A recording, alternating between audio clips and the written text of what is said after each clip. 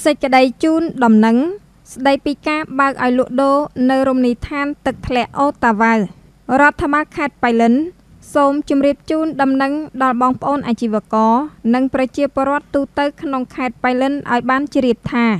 ដើម្បីអបអរសាទរពិធីបុណ្យចូលឆ្នាំថ្មី ប្រពៃណីខ្មែរឆ្នាំរោងឆស័កពុទ្ធសករាជ2568 ត្រូវនឹងថ្ងៃទី 13 14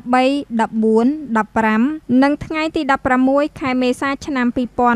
2024 រដ្ឋបាលខេត្តអនុញ្ញាតឲ្យបងប្អូនអាជីវករ និងប្រជាពលរដ្ឋទូទៅ ដែលមានបំណងចង់លក់ដូរនៅក្នុងតំបន់រមណីយដ្ឋានទឹកធ្លាក់អូតាវ៉ៅដោយមិនគិតថ្លៃឈ្នួល ចាប់ពីពេលនេះតទៅ អាស្រ័យដូចបានជម្រាបជូនខាងលើ សូមបងប្អូនអាជីវករ និងប្រជាពលរដ្ឋទូទៅ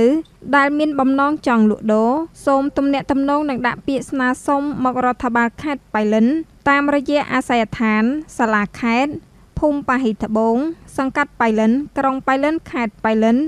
ឬតាមរយៈលេខទូរស័ព្ទ097 42 16 668រៀងរាល់ម៉ោងធ្វើការ ថ្ងៃអង្គារ3រោចខែមិញឆ្នាំថោះបញ្ញស័កពុទ្ធសករាជ2567បៃលិន